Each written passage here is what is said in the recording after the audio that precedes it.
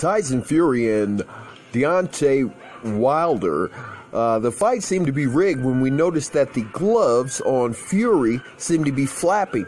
Uh, his wrist turned way more than 90 degrees, and it's almost as if he was hitting him with a bag or something. You can clearly see that his fist is inside the wrist area of the glove. Now, pay attention right about there. There it is. You can tell his fist is right around the outside of that red tape. Uh, look, here it is again. His wrist is bending over 90 degrees. And he's kind of throwing that bag inside his hand. Look, there it is. Boom. Now here's the big one.